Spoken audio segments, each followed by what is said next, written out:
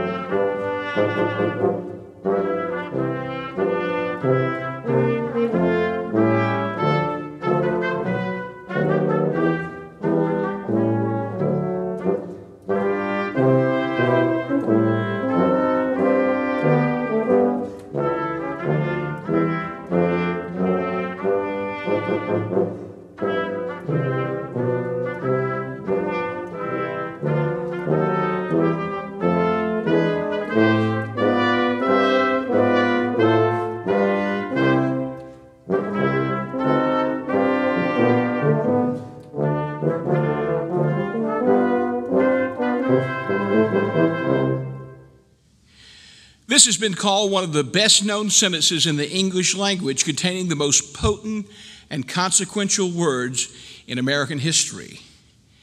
We hold these truths to be self evident that all men are created equal, that they are endowed by their Creator with certain unalienable rights. Among these are life, liberty, and the pursuit of happiness. The passage came to represent a moral standard to which the United States should strive. This view was notably promoted by Lincoln, who considered the Declaration of Independence to be the foundation of his political philosophy and argued that it is a statement of principles through which the United States Constitution should be interpreted. It was July 4th, 1776, 244 years ago. The Declaration, which was addressed to King George, would not arrive in the monarch's hands until the next month. Three Georgians would sign it. Among them was Dr. Lyman Hall, the namesake of our own Hall County, although he likely had never set foot in the county named for him. Hall was born in 1724 in Wallingford, Connecticut, and became a minister like his father. He also trained at the Yale College of Medicine. While the day of the original signing was largely uneventful, Independence Day has become a day that we honor our freedom and those who have fought to, over the years to preserve it. We have current members of this congregation who wore the uniform of the United States of America in World War II the Korean conflict, the Vietnam War, and the battles against terrorism in the Middle East. We honor them today. We honor those who served in public office during those times made decisions in Congress to engage in war. We also honor those who helped nurse the wounded back to health as they returned home with the scars of battle. While Independence Day has become a day of celebration and picnics and fireworks and joy, let us never forget, and may God bless those who paid the ultimate sacrifice for the freedom that was proclaimed on July 4th, 1776.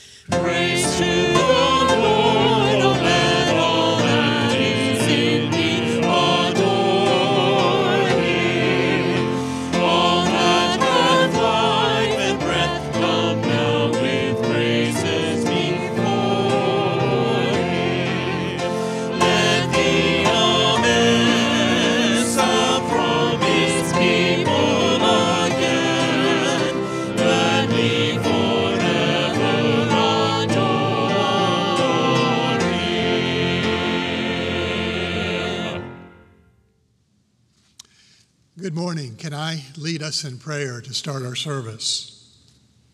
Almighty God, we come before you this morning to worship you. And as we do that, we remind ourselves that when we invite you to meet with us in worship, that everything has become holy around us.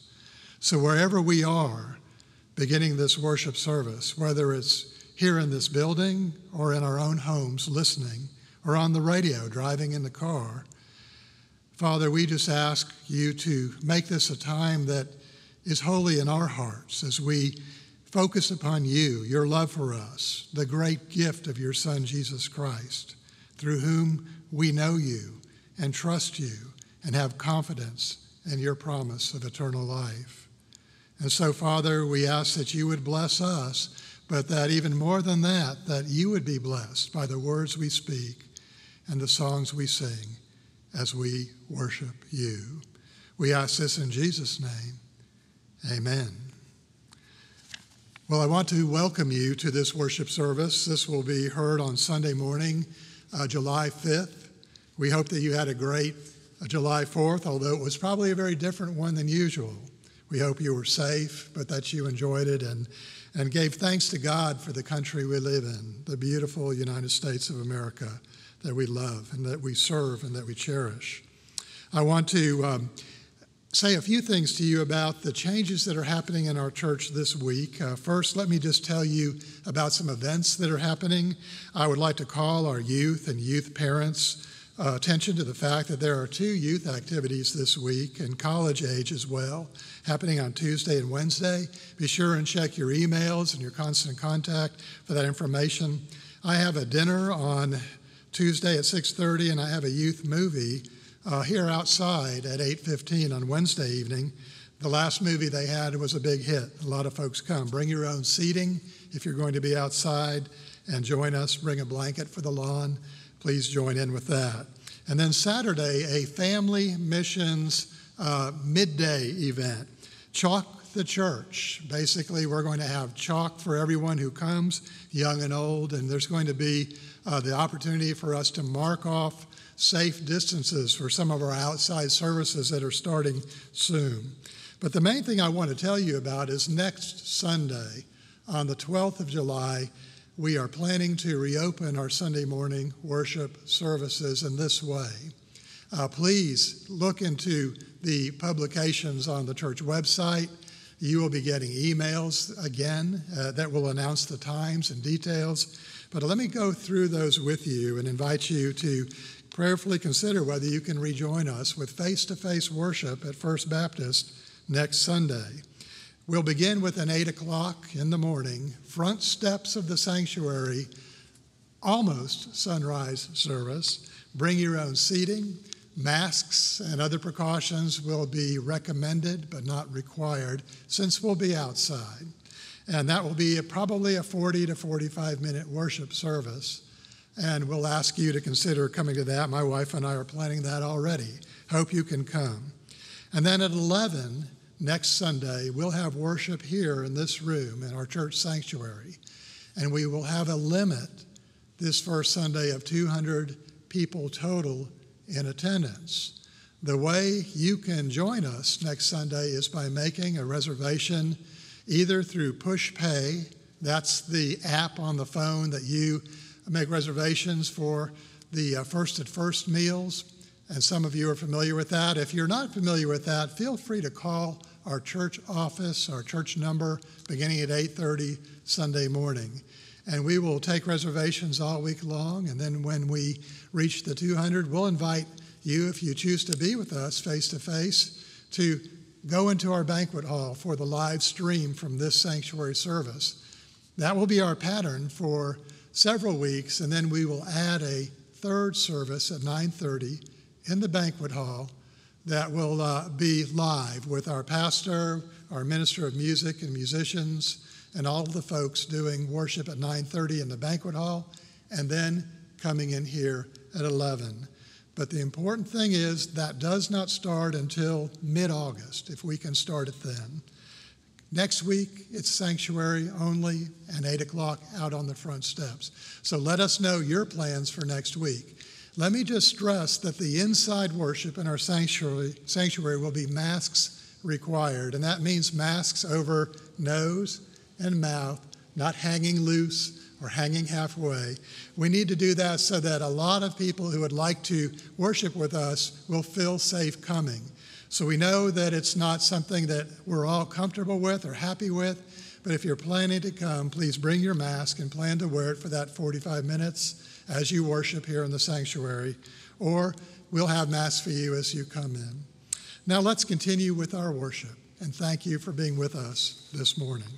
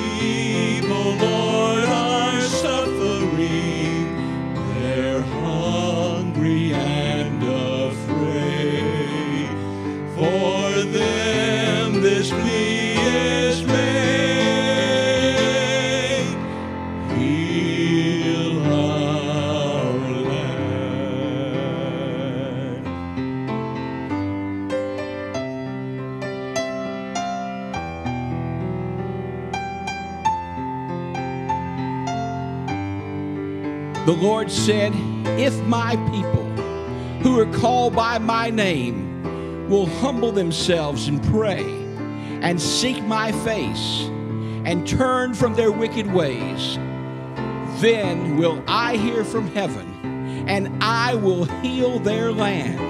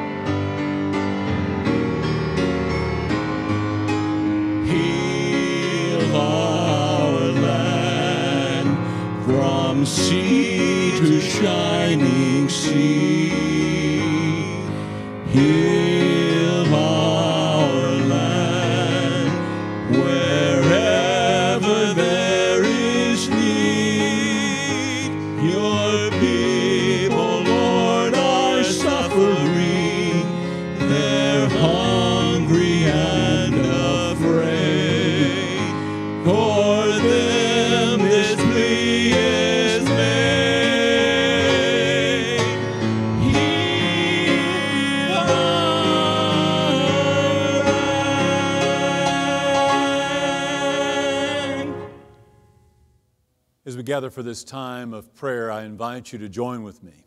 Let us pray together. O Lord God, with one word, you brought the world and all of the universe together. At a word, light was separated from darkness. At your word, creation was birthed into being. At your word, uh, uh, livelihood uh, enters into this very world. Your word, Lord, has brought good things to us, and we are here because of your divine calling, summoning word. And for that we give thanksgiving, we give praise. But Lord, you know too that with our words, so often we have broken apart your creation's intention. Our words have brought fragmentation onto this globe. We know of war and poverty. We know of distress, curses where there should be blessings. And Lord, even those things that do not come by our word, words like pandemic and other things that have fractured this world, this too, Lord, is sorrowful to all and especially to you, you who desire so much. So, Lord, we lean into your word today.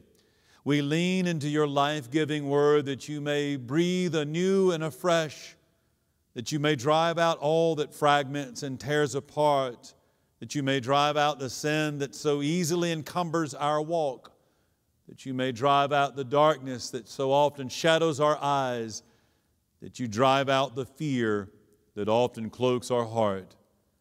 It is your word, Lord, that we have come to listen your word that sustains and gives, your word that brings us to life, even life everlasting. And so, Lord, we continue to lean in your word through the prayer you first taught your disciples to pray. Our Father, which art in heaven, hallowed be thy name. Thy kingdom come, thy will be done in earth as it is in heaven. Give us this day our daily bread and forgive us our trespasses as we forgive those who trespass against us. Lead us not into temptation, but deliver us from all evil, for thine is the kingdom and the power and the glory forever. Amen.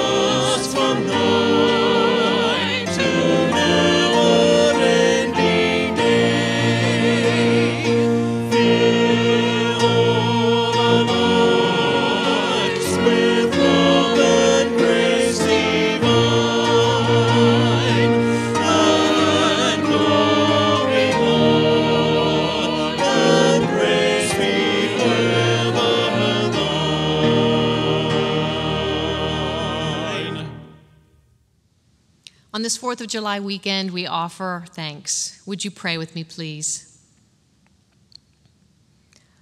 Almighty God, we acknowledge with thanks all that we enjoy as a gift from your gracious hand. We come before you today in heartfelt appreciation for our nation and its people. You have enriched us with the bounties of farm and factory, the beauty of forests and mountains, and the marvels of medicine and science. We have so many blessings and freedoms to be grateful for, but there is no greater feeling of liberty than to experience the freedom that we have through Jesus Christ. As Christ followers, help us to be a people at peace among ourselves and a blessing to other nations. This morning, we offer our gifts, our tithes, and offerings as a response to your graciousness. Gather our congregation and opportunities to respond to people's needs. Fill us with your spirit so that we're eager to help others. Use these gifts that we offer to quiet the traffic and turmoil of life's stresses and help our tithes be able to share the gentle and humble message of Jesus Christ. We pray through Christ our Lord. Amen.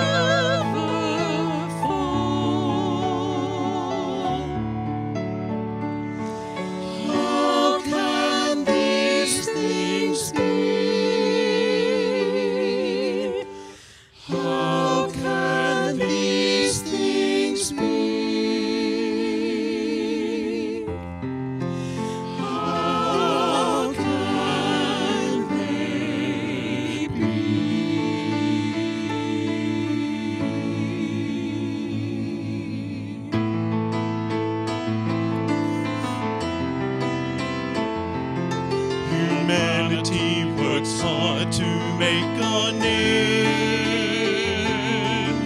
Toiling in the sun, yet nothing gained. We all return to dust.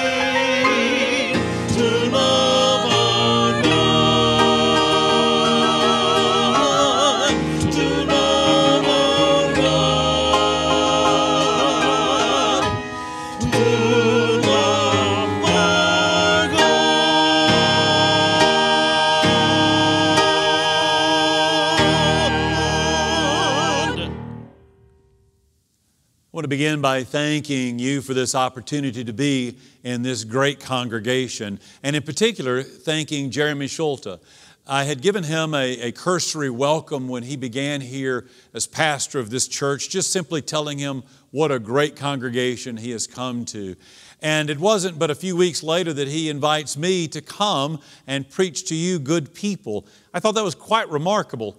Jeremy doesn't know me. Jeremy never's heard me, and yet he's trusted this uh, historic and wonderful pulpit over to me at this time. So thank you, Jeremy, and thank you, church, for hosting me uh, at this important time in the history of your church. I also want to say, as uh, in my role at McAfee School of Theology of Mercer University, to thank you for your historic and ongoing support to our School of Theology. You have been with us from the very beginning. Uh, you've been a part of not only financially supporting this church, but recommending students to come study with us, to employing them to serve in your congregation in a variety of ways. You have prayed for us. You have watched over us. You are part of this great tradition that our School of Theology continues with more than 850 alumni serving all over the, all over the world. Indeed, we've even had students serving on each and every continent here on this great globe. So thank you for your continued service to our school. We are grateful and we're better because of it. I want to share with you two texts of Scripture for us this morning an Old Testament reading and a New Testament reading as part of this sermon message. Hear with me these words of the Lord as we find them in the book of Ecclesiastes, chapter 3, beginning with verse 9. What gain have all the workers from their toil? I have seen the busyness of God that has given to everyone to be busy with. He has made everything suitable for its time. Moreover, He has put a sense of past and future into their minds, yet they cannot find out what God has done from the beginning to the end. I know that there is nothing better than then than to enjoy, than to enjoy a happy life themselves as long as they live. Moreover, it is God's gift that all should eat and drink and take pleasure in all of their toil. This is from the book of Ecclesiastes. For our New Testament reading, I invite you to follow along in the Gospel according to Luke chapter 9, beginning with verse 61. Another said, I will follow you, Lord, but let me first say farewell to those at my home. Jesus said to them, No one who has put his hand to the plow and looks back is fit for the kingdom of God. These are God's words for God's people. Thanks be to God. So, not too many years ago, I was the pastor of the First Baptist Church of Augusta, Georgia, served that great congregation for 10 years. Um, Will Dyer, yes, your own Will Dyer, has followed me and is now busily cleaning up the mess that I took a decade in creating. Now, while I was serving there as pastor, uh, each year I would take a group of juniors and seniors, 10, 15, some years as many as 20. We would go on a backpacking trip, and many years we would drive right by this church on the way to Springer Mountain, uh, just outside of Dahlonega, Georgia. And there, these young people, many of them for the very first time, would get the experience of climbing a mountain, let alone backpacking for a couple of days. And I tell you, it's, it's, it's really a treat to be with people who have, after working hard all day, making their way slowly but uh, most certainly up to a mountain, catching the vista, looking it over, even taking a few pictures, feeling as though they've really accomplished something. Now, unlike Will, I'm not a golfer. So, climbing mountains, that is, hiking these backcountry trails, is my thing. But even if you don't like hiking uh, in the mountains, you can appreciate what it must feel like to, to reach a summit, to catch a vista, notice a view, and feel as though something has been accomplished. Well, I want to share with you that these stories are mountain climbing kind of stories, figuratively speaking. Reminds me of a wonderful book I read a couple of years ago by the New York Times columnist David Brooks called The Second Mountain. I commend it to you. David, uh, David Brooks was at the time of writing going through a significant life change. Uh, he had finished a very painful divorce, and although he was, is at the height of his career, he realized that there's something missing. And so he began exploring what that missing element was in his life, and it resulted in a powerful book called The Second Mountain. The thesis goes like this There is a mountain you climb in life, the first mountain. It's the ego, it's the, it's the building the container, it's wrestling with the assumption that I am what the world says I am. And all of us, he writes, climb that kind of mountain the mountain of building an ego, answering the world's question, I am what the world says I am. The first mountain, he says, you conquer. But the second mountain, it conquers you.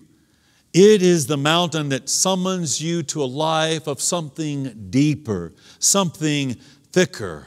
As I said this morning, we have two kind of mountain texts here of Scripture. I don't mean that Ecclesiastes or the Gospel of Luke take place on a mountaintop per se. They're not literal, but they're the kind of mountaintop experiences that both stories have us looking over a vista of sorts, a platform, looking ahead to something bigger. Now let's take Ecclesiastes, the Old Testament reading for this morning. Ecclesiastes begins with an author who goes by the Hebrew name Koheleth. Now, Koheleth in your English translations may be translated as the preacher or the teacher. The name literally means to assemble or to gather. Uh, I'd like to add it means to summon, Koheleth. Koheleth of Ecclesiastes has some things to say to us. I think of Koheleth as an old person that's wise, someone who has lived life and has experiences, someone who has climbed and conquered mountains, but also someone who knows what it feels like to be conquered by a mountain. Koheleth has lived life and has some things to say. It's not about hedonism, as the text may imply, eat, drink, and be merry. It's more like what it means to live this one solitary life as the true gift of God that it is. It reminds me of a poem by Mary Oliver, who died just a couple of years ago.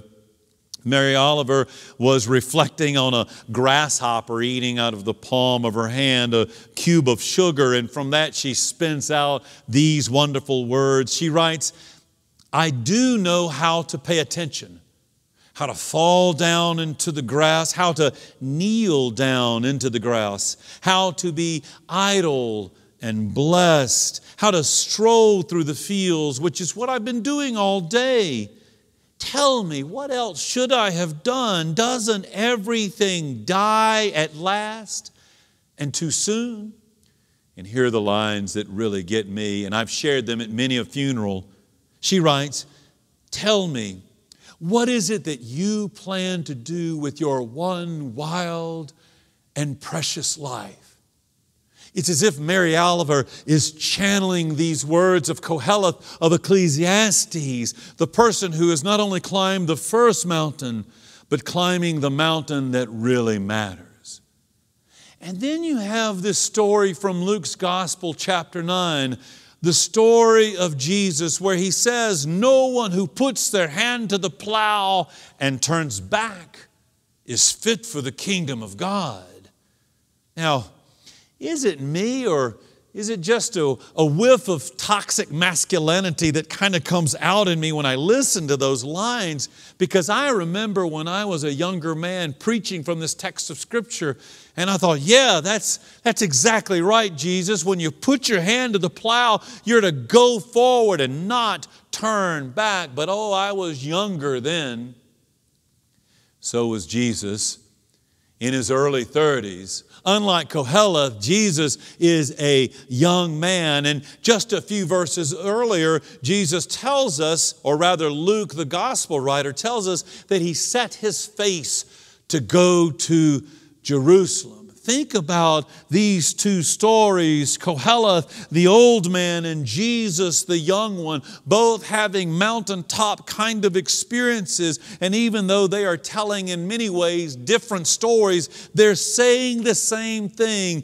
The old man looking back and the young man looking forward, they're saying to us what it means to live a life that matters. And that's what brings us here, right? Sunday after Sunday, living a life that matters. That's what brings you to watching this service online. Though it is not ideal and not preferred, you're doing it right because deep down, we all, young and old alike, want the same thing to know that this one solitary life we've been given will actually matter. Because in the end, it's not about a job, it's about a calling. It's not about a career, it's about a vocation. It's not about making a living, it's about making a life. What happens when you lose your job? And we'll all lose our job one day, even if your job is, is a familial one, a, a volunteer one, a, a one that obligates you with your family, or whether it is a long standing career path. One day we will all lose our job. It may come by retirement, it may come by way of termination, it may come by elimination. But when you lose your job, do you lose your calling? When you lose your job, do you, do you lose your identity? Do you, when you lose your job, do you lose your sense of, of well being? I say to you, no. A, a calling is an answering to a summons of life. Now, I work in uh, in, in the world of theological education these days, and, and our primary concern with our students is about vocation, not getting a job or, or living out a duty. Those things are important. But whenever we gather our students at the beginning of each year during orientation, I say to them, now, if you've come here so that you can leave here and get a good job, you've made a mistake. Now, some of them don't like to hear that. I quickly add, and don't get me wrong, I want you to be employed when you graduate from here. But you are here to work on your vocation. You are here because, on some level, you've answered God's summons in your life to live a life that matters. After all, that word vocation comes from the Latin vocatus, which simply means a calling, to be called, to be summoned. Howard Thurman was a New Testament scholar who taught at Spelman decades ago, but he's not really known as being a great New Testament scholar, although his book, Jesus and the Disinherited, is one of the best one can read. I commend that one to you. But he's rather known simply as a Christian mystic. And he has these words that I love to use with our theology students when they go through ordination. I'll write them a letter and I'll include this quote in the letter to them, commending them for their ordination. Howard Thurman remarks Don't ask yourself what the world needs. Now, I want to stop there and ask you to reflect on that. Don't ask yourself what the world needs. Think about what we often tell young people when they're getting ready to either go away to college and study a, a particular major, or maybe they're preparing for uh, some type of trade as they finish high school studies. But whatever it is, we often counsel our young people to choose a field that is lucrative. I'm a father of two adult sons. I understand. I want my children to stay gainfully employed. Please stay gainfully employed. But I raise my children also to, to know it's not about simply working a job for the money, it's about answering a call, all of us. Again, Thurman says, don't ask yourself what the world needs. Ask yourself, he says, what makes you come alive? And go do that. Because what the world needs is people who have come alive. That's it, isn't it? What is it that makes you come alive, that stirs your soul, that, that leads you to the handle of the, of the plow, ready to move forward? And Jesus reminds us that when you have, when you find it or found by it, don't look back. Move on. I taught a class last fall uh, called Models of Moral Leadership. It was a class of both uh, narrative ethics as well as leadership. And so for that class, we, we taught about individuals like Abraham Lincoln and Harriet Tubman and Florence Nightingale, uh, Nelson Mandela, Martin Luther King Jr. And, and throughout that class, we'd spend time not only learning about the history of these individuals, but we would spend some time talking about what was the calling in their life. Many of them had a life interrupted. Harriet Tubman was illiterate, but her calling was to uh, liberate those that were enslaved. Abraham Lincoln wanted to be a, a country lawyer and was doing a good job at it. And Instead, he found himself presiding over the United States in the midst of a civil war. Nelson Mandela, too, sought out to be a lawyer and spent 27 years in prison before becoming the face of freedom in South Africa. All of these came on some level out of a calling. What is it that stirs your soul and makes you come alive? Go do that because that's what the world needs. Why is this so important in a class on moral leadership? Because without a sense of living a life that matters, Morality is just simply reduced to a list of do's and don'ts and shoulds and oughts. Without a sense of vocation, a sense of calling, a sense of being summoned, leadership just simply risks moral bankruptcy. The question every seminarian, and for that matter, all the rest of us, confronts us in our life's work is to answer that notion of calling. Viktor Frankl uh, spent years in a concentration camp. Prior to that, he was a psychoanalyst. And after uh, his own liberation from the concentration camp, he went on to uh, carry a very productive career as a psychoanalyst. But during his time in the concentration camp, it was there that, that he observed that some people had a will to live and Other people tragically died even before their time amidst harsh realities. He said that we're all dealing with the same question, are we not? What is life asking of me? And when you can answer that question, what is life asking of me? It can lead you through even the deathly gallows of a concentration camp. You can be an exceptional banker, but if you're not living a life that matters, what does it matter? You can be an acclaimed physician, but if you're not living a life that matters, what does it matter? You can be a powerful litigator, a, an influential teacher, a remarkable preacher, an exemplary nurse, a fastidious CPA, but if you're not living a life that matters, what does it matter? My brothers and sisters, both Koheleth of Ecclesiastes and and Jesus of the Gospel of Luke. They are two very different lives, to be sure, and they are indeed speaking from different kind of mountaintop experiences. But both of them, one looking back and the other one looking ahead, are calling on us to, for the same thing. Do you see the view? The life that matters for you. I love how Toni Morrison writes about vocation and job. She writes that whatever the work is, do it well. You make the job, the job doesn't make you. And maybe more importantly, she goes on to say, You are not the work you do, you are the person you are. You are fit for the kingdom of God. First Baptist Gainesville, you are fit. And while we are about plowing our respective fields, let us remember the words of Koheleth of Ecclesiastes.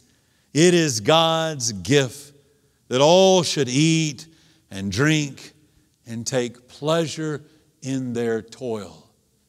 There's a life summoning you. May you and I be faithful to attain it. Thanks be to God. Amen and amen.